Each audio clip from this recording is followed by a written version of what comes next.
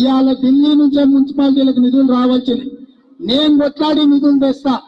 మన కోస్గి కొడంగల్ మున్సిపాలిటీలను అభివృద్ధి చేసే బాధ్యత నాది. ఇక్కడ నిధులు తెచ్చే బాధ్యత నాది. ఇక్కడ కార్యకర్తలను కాపాడుకునే బాధ్యత నాది. ఇక్కడ ఏ కార్యకర్తకు చిన్న ఇబ్బంది వచ్చినా రెండు గంటలలో తిరుపతి రెడ్డి సార్ వాళ్తాడు.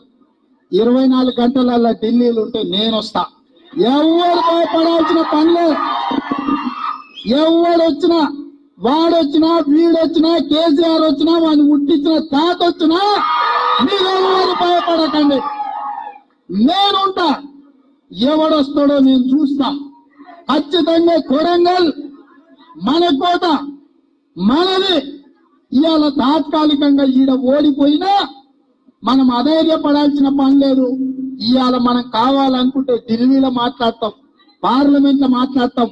ఈడున్నోని పని పడతామని చెప్పి కార్యకర్తలకు తెలియజేస్తూ ఇంత అభిమానంతో ఐదు పైసలు ఖర్చు పెట్టకుండా చాయ్ మంచినీళ్ళు ఇప్పించకపోయినా ఇన్ని వేల మంది యువకులు ఆరేడు గంటల నుంచి నిలబడి మీ అభిమానాన్ని సాగినందుకు మీ అభిమానాన్ని గుండెల నిండా నింపుకొని ఢిల్లీకి పోయి మీ అభిమానాన్ని పార్లమెంటులో మాట్లాడి మన సమస్యలను పరిష్కరిస్తామని తెలియజేస్తూ Subscribe us and press the bell icon for more interesting updates.